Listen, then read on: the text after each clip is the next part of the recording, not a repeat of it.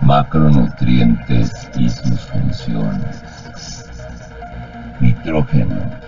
El nitrógeno constituye casi el 80% de la atmósfera de la Tierra, pero es un elemento que es deficiente en la mayoría de los suelos agrícolas.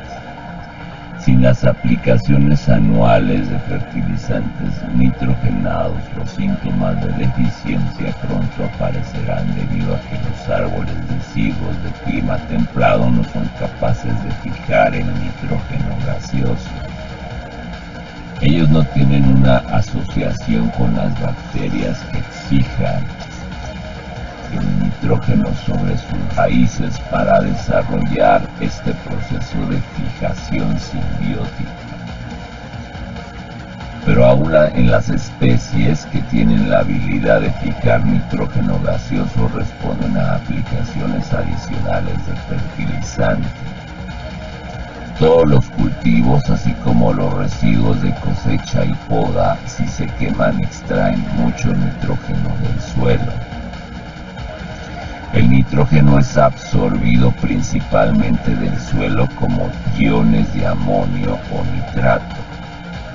Esos iones se originan de los fertilizantes químicos tales como el nitrato o el sulfato de amonio o nitrato de potasio o nitrato de calcio, así como nitrato de sodio o nitrato de potasio, que es el nitrato chileno. La urea es un fertilizante común, así como la materia orgánica en descomposición. Primero se degrada para estar en la forma utilizable y enseguida absorbida por las raíces. Gran parte del amonio reducido en las raíces se combina con carbohidratos para formar aminoácidos. Los constituyentes de las proteínas estos aminoácidos simples se metabolizan en compuestos más complejos tales como las purinas y las piridinas, vitaminas, por ejemplo, biotina, ácido nicotínico, riboflavina, hormonas, por ejemplo, ácido indolacético, ceatina y sus derivados coenzimas para varias enzimas, por ejemplo, dinucleótido de la nicotinamida adenina, que sus siglas mayúsculas son NAD. La molécula de la clorofila tiene cuatro átomos de nitrógeno. Algunos compuestos muy tóxicos contienen nitrógeno, por ejemplo, alcaloides, y glucósidos de cianuro, un metabolito común en Prunus SPP es el glucósido de cianuro amigdalina, el cual produce ácido cianhídrico, sus siglas mayúsculas HCN, al hidrolizarse. Fósforo el fósforo es un constituyente de numerosos carbohidratos y compuestos nitrogenados. Azúcares fosforilados ricos en energía aparecen al inicio del proceso fotosintético. La fosforilación de la adenosina produce la adenosina monofosfato, difosfato y trifosfato. Sus mayúsculas, sus siglas mayúsculas son AMP, ADP y ATP respectivamente, en las cuales las plantas almacenan energía para echar a andar otros procesos químicos. El ácido fítico, el hexafosfato de inositol, el cual está concentrado en el cloroplasto es considerado como una importante fuente del fosfato. La fitina es una sal de calcio y magnesio.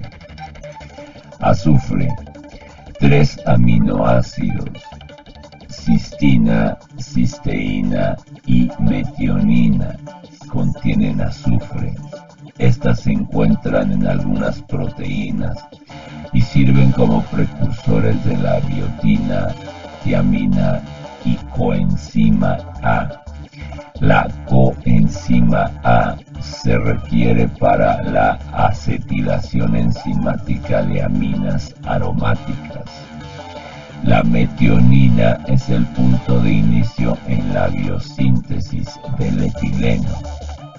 Dos residuos de la cisteína se ligan al citocromo C y a una proteína a través de un ligamiento de tioete. Potasio. El potasio se encuentra en grandes cantidades y siempre está presente en los tejidos en la forma iónica. De alguna forma participan en el transporte de carbohidratos, acompañado a los fotosintatos de las hojas, y a otros puntos de demanda. A medida que el fruto de ciruela pasa madura, acumula materia seca mientras mantiene un nivel de casi el 1% de potasio. El elemento está asociado con el movimiento de azúcares dentro y fuera de las células guardas de estómago guardas de estomas, por lo tanto, controlando el cierre y apertura de los estomas. Las células de la raíz tienen la habilidad de acumular potasio a una alta concentración y discriminar al sodio, posiblemente como un mecanismo de defensa contra la toxicidad provocada por los excesos de sodio. Los análisis de células vegetales revelan que la acidez total consistentemente excede la que se determina por titulación, indicando que el potasio y otros cationes existen como sales de ácidos orgánicos. Ellos, por lo tanto, sirven como topes contra los cambios rápidos en el pH de la savia de las células. El potasio y otros cationes monovalentes incrementan la permeabilidad de las membranas, mientras que los cationes divalentes y trivalentes tienen el efecto opuesto. Calcio. El calcio existe como una parte estructural de los tejidos que se depositan como pectatos de calcio en la lamela media. Algunas membranas contienen calcio, el cual gobierna su permeabilidad. Muchas especies tienen cristales de oxalato de calcio de diferentes tamaños y formas. Estos aparecen como agujas o rafidios, como prismas, como drupas, grupos lobulares de cristales en células especializadas dependiendo de la especie. Los espolones de manzana contienen cristales grandes de oxalato de calcio, mientras que los frutos de kiwi poseen muchos rafidios finos. ¿Cómo es que esta cantidad de calcio es movilizada por órganos que no están equipados para transpirar rápidamente es una situación debatible. La formación de esas sales se piensa en que es un mecanismo de detoxificación, el cual elimina los iones venenosos de oxalato o lo que neutraliza una excesiva acidez que resulta de la síntesis de ácidos orgánicos. El calcio forma complejos con iones de citrato y malato, pero como esos complejos se traslocan al floema, es todavía punto de discusión. El citrato y malato de calcio son ácidos débiles, los cuales tienen una capacidad de amortiguación. Magnesio. Este elemento ocupa la posición central en la molécula de clorofila y sirve como un activador enzimático y amortiguador en medios acuosos. Micronutrientes y sus papeles. El hierro, el cobre y el zinc actúan como coenzimas y partes del grupo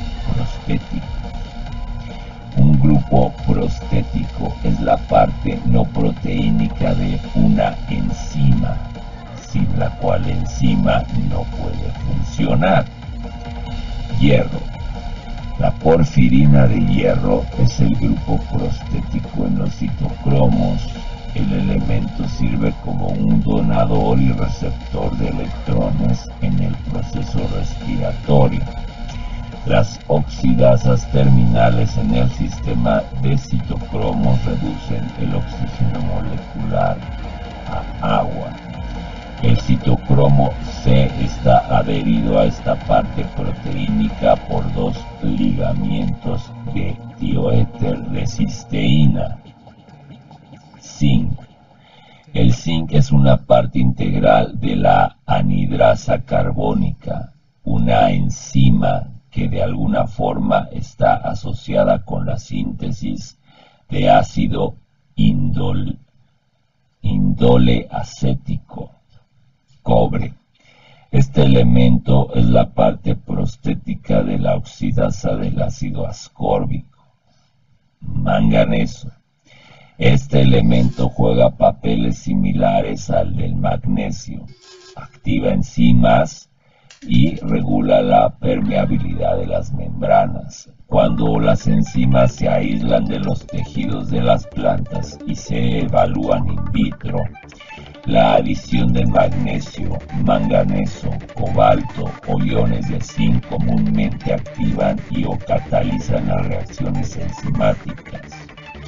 Muchos venenos, especialmente el monóxido de carbono, ácido hidrociánico, y compuestos que contienen azufre tienen una afinidad fuerte por estos metales y por lo tanto desactivan o inhiben las actividades enzimáticas. Boro. El boro mejora el amarre de flores y frutos así como el crecimiento del tubo polínico. Esta mejoría se atribuye a la formación de complejos azúcar-boro cuales traslocados, los cuales son traslocados a través de las membranas protoplasmáticas más fácilmente que los azúcares no borados. Molibdeno. El molibdeno es un componente del nitrato de reductasa o del nitrato reductasa la enzima que reduce los iones de nitrato o nitrito en las raíces y las hojas. El nitrito es tóxico y a bajas concentraciones, pero es inmediatamente reducido a amonio, especialmente en la presencia de la luz, y se adhiere a algunos carbohidratos